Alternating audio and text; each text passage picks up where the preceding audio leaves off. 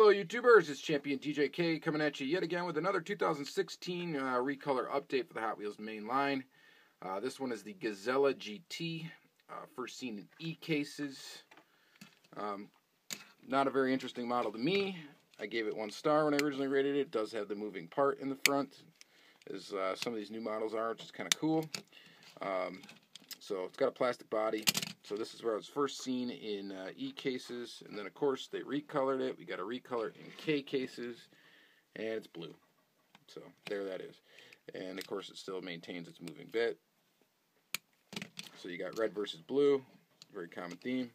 And um, if I had to pick one to like better, I probably I think the blue one looks a little bit nicer.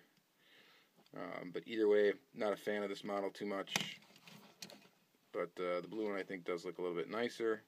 And that's going to be about it for this. So th let me know what you think in the comments down below. You dig the blue one, or the red one, or none, or all of the above.